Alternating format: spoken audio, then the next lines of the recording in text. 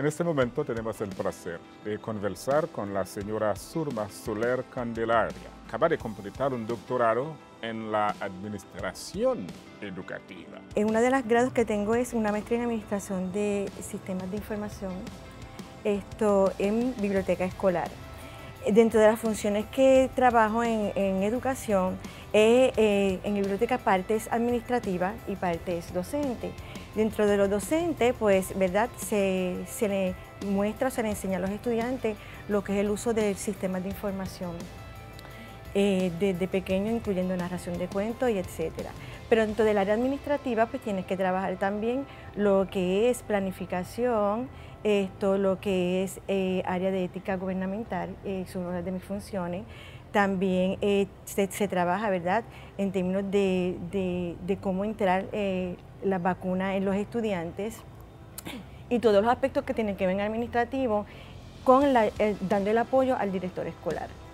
Y en todo eso, ¿cuál puede ser o cuál será su aporte en la administración de su escuela? O en... Bueno, uno de, de los objetivos que, ¿verdad? Esto me interesó estudiar administración educativa es porque entiendo que puedo aportar a mi país, al distrito donde laboro, donde puedo trabajar estos otros asuntos ¿verdad? relacionados a cómo cambiar ¿verdad? estos pensamientos en mi país, donde los valores estén presentes, donde se le presente al estudiante que no importa el, sexo, la raza, el color, ellos pueden llegar a lograr lo que ellos puedan lograr en la vida siempre y cuando yo solo proponga las metas.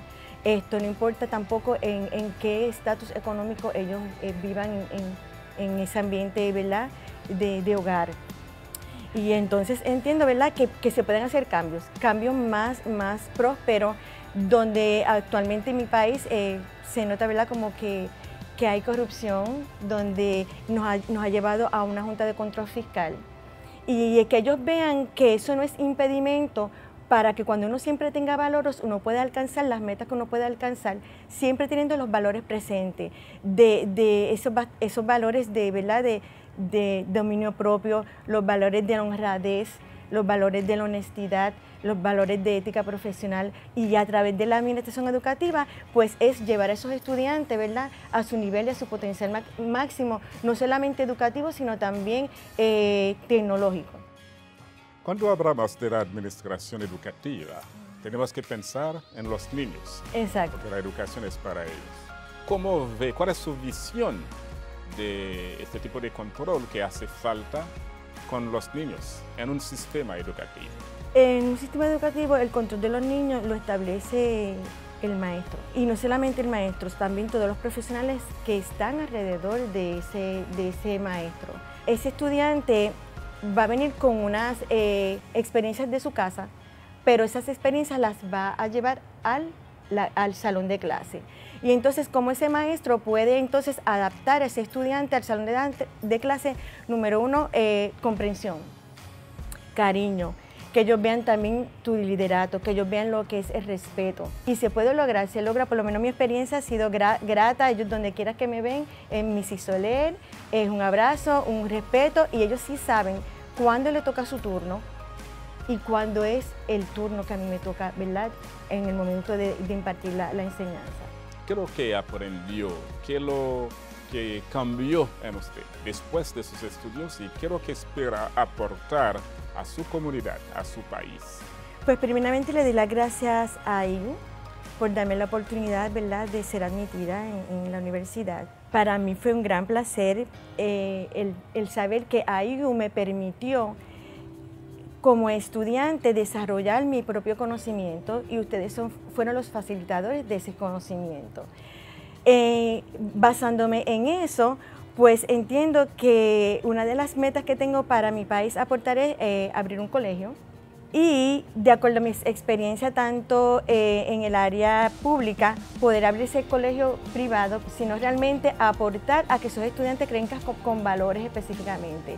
También me encantaría, ¿verdad? Una de las cosas que estoy trabajando es también poder apoyar en universidad en mi país.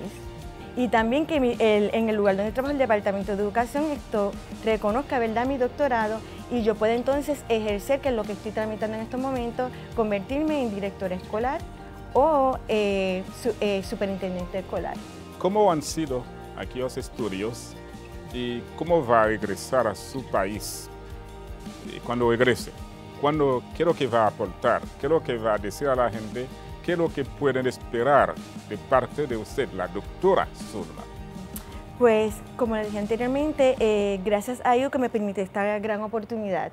Es muy distinta a, lo que estamos acostumbrados, por lo menos en mi país y en, y en, Estados Unidos, donde es un formato tradicional de un currículo establecido. Aquí AIU te permite, honestamente, expandir fronteras.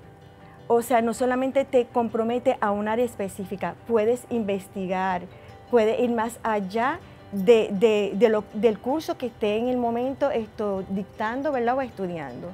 Y en mi país, pues me gustaría llevar este mismo concepto. Me gustaría llevar eh, la probabilidad de otros estudiantes que, que, realmente no tienen quizás el tiempo porque su situación no le permite, tengan que trabajar y entonces podamos llevar este concepto a que, esas personas puedan adquirir una profesión, eh, he pensado en, voy a una iglesia, asisto a una iglesia donde mi pastor dice, no es, no es la sabiduría, es como tú aplicas la sabiduría.